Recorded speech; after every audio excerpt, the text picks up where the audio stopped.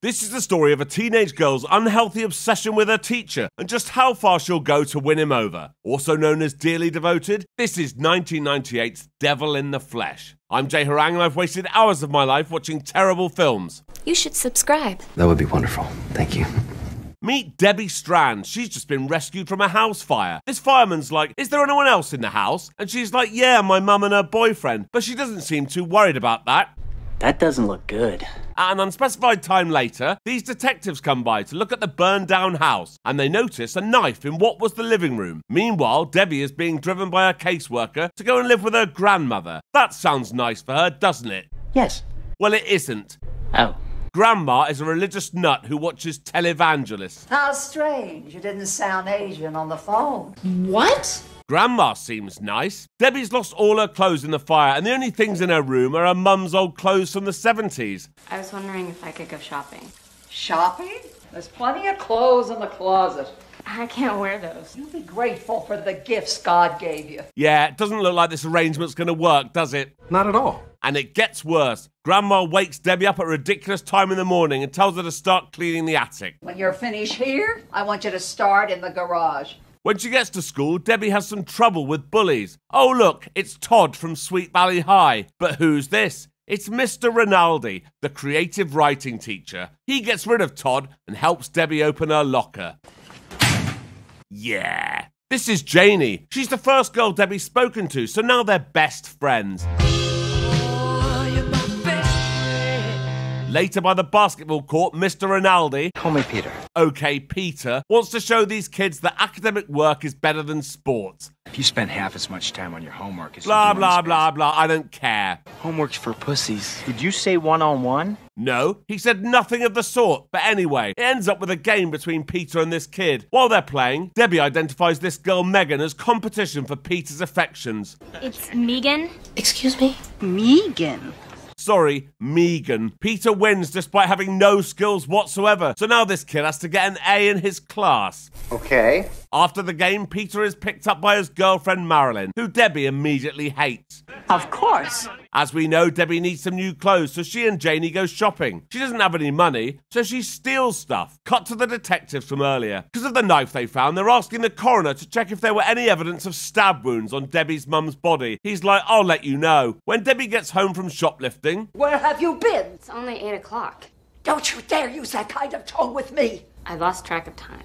Oh, well, Debbie, these things happen. But if you want to remain in this house, you better learn to give me the respect I deserve. God damn it, you're hurting me. How dare you use that language in this house? I'm going to teach you a little discipline. oh dear. The next morning, on her way to school, Debbie takes off her old clothes to reveal her new hot stolen ones. Now, all the boys at school want her, including Todd. But she's not interested in boys, she wants a man, Peter. All right. In his class, Megan's handing the workout and doesn't hand out Debbie's paper very nicely, so Debbie trips her up.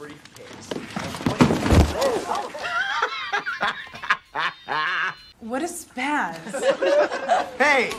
After class, Peter's like, I need a student to volunteer to help me with my garage sale on Saturday. Debbie and Megan both volunteer. Great. Two volunteers. Very cool. I'll see you Saturday. See you. Okay. On the way home from school, You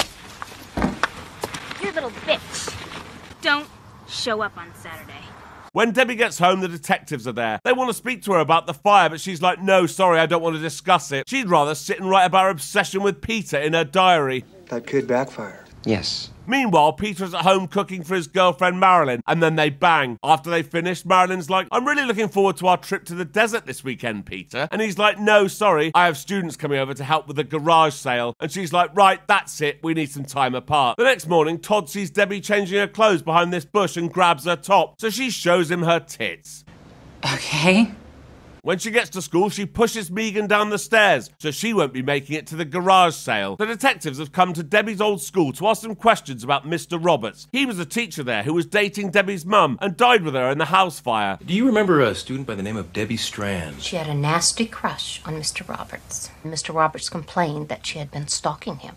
Oh, the whole thing turned into quite a soap opera, especially when he got involved with Debbie's mother. Yes, of course. Now things are beginning to make sense. When Debbie gets home that day, Grandma's dog is destroying all her new clothes. Well, where did you get these? Answer me. I bought them. Don't you lie to me! Oh, dear. Debbie blames the dog for this, so later that night she lures him into a trunk and kills him with bug spray. She's the very devil herself. Yes. It's Saturday now, and Debbie turns up at Peter's house wearing next to nothing. What a slut. As they're setting up, she makes sure she's always bending over so that he can see stuff. Although we don't see Peter running inside to knock one out, it's certainly implied. Janie's come by to say hi to Debbie. Boy, that's a cool tattoo. I wonder if that's going to be relevant later. It is. Back at home, Grandma can't find her dog, but she does find Debbie's diary. Ooh, that can't be good. Back at Peter's, his phone rings and Debbie says she'll get it. It's locked. The spare key's under the pot. It was Marilyn leaving a message saying they need to talk, but Debbie deletes it. Then she goes up to his room and smells his clothes. What are you doing? Where's the bathroom? It's right there. Thanks. Peter then drops Debbie off at home. When Debbie gets up to her room, Where have you been? I was at church praying for my mother. Don't you lie to me, you blasphemous slut. You've been out carousing. I was out with a friend. Are all your friends deviant men twice your age? You're a whore just like your mother. Grandma's like, I've been reading your diary and I know what's been going on. I am calling the police and have you put in a reverse skull. Yes! One more time. So Grandma's dead and Debbie gets rid of all her god stuff. Cut to Peter's house. He's just got home and sees candles on the dinner table, so he assumes Marilyn has come back. He hears the shower on, so he decides to join her. You have no idea how glad I am to see you.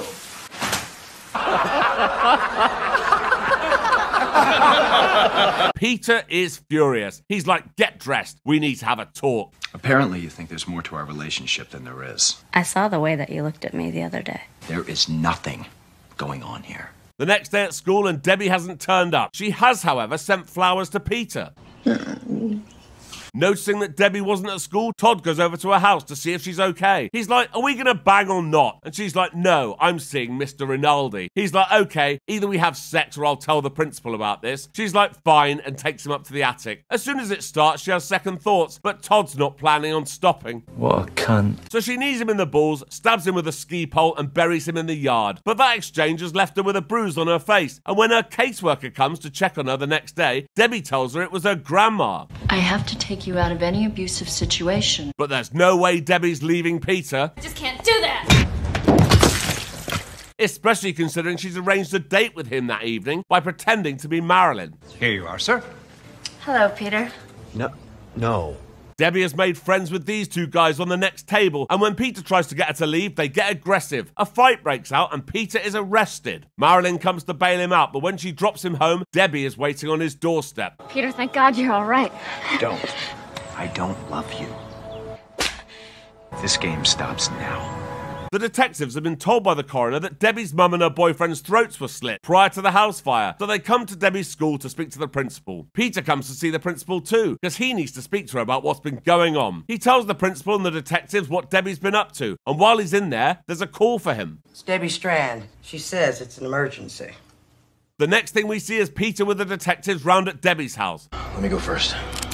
Why don't you? Oh dear, that hasn't worked out. So Peter goes in, but Debbie runs up to her room. He hears a gunshot, and when he breaks the door down, he sees Debbie has shot herself. But on the way home that night, something doesn't sit right. Boy,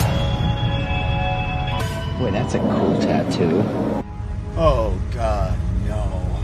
Oh, yes, the body in Debbie's room was Janie, and Peter thinks that Debbie's next target could be Marilyn, and it is.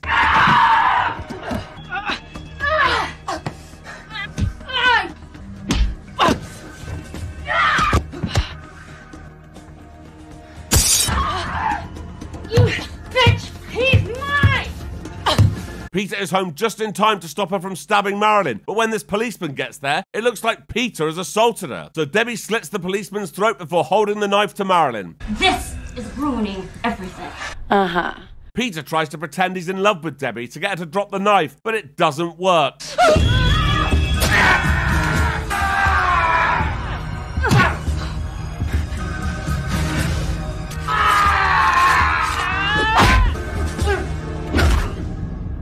So an ambulance comes to take Peter to the hospital, Debbie is arrested, and that's the end of the film. So until next time, thank you for watching. If you enjoyed this, please like and subscribe and check out this other video. Thank you.